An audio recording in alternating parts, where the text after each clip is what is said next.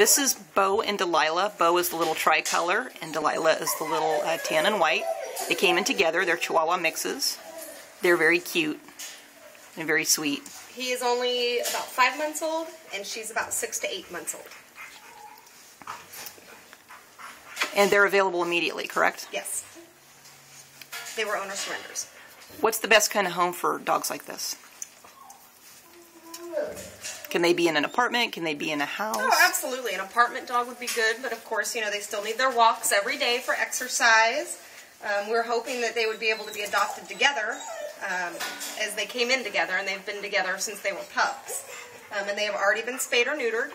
Um, so it would just be the adoption fee and the microchip and the rabies vaccination and the spay or neuter fee. So come down to check them out at Lake County Animal Care and Control.